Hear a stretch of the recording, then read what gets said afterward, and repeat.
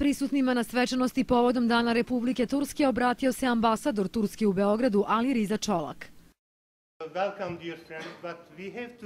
Dobrodošli, dragi gosti. Ova večerašnja svečanost će biti formalna jer smo duboko potrešeni zbog zemljotresa koji je pogodio našu zemlju. Ali svakako proslava 88 godina od proglašenja Turske republikom nije izostala i uveren sam da su veze između naše dve zemlje, između Srbije i Turske, mnogo starije. Siguran sam da će naša dobra saradnja i prijateljstvo biti nastavljeni i u buduće. Prijemu su prisustovali i gradonačelnik Novog pazara Meho Mahmutović i njegovi saradnici, predsjednik Sanđaške demokratske partije Rešat Hođić i narodni poslanici Munir Poturak i Meho Merović.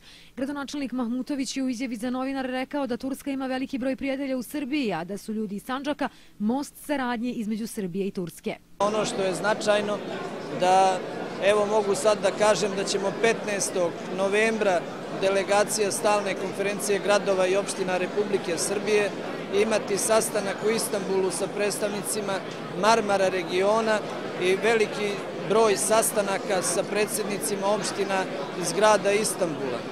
To je samo nastavak saradnje između Republike Srbije i Republike Turske, a Novi Pazar i Sanđa, kao što sam i malo pre napomenuo, su, Sanđ, su most u toj saradnji, jer mnogo je bitno da u današnje vreme, kad svi pričamo o evrointegracijama, ceo zapadni region zajedno što pre postane sastavni deo Evrope, jer Evropska unija je trenutno najbolji recept koji postoji i mi se svi zalažemo za što pre, da što pre Srbija uđe u Evropsku uniju.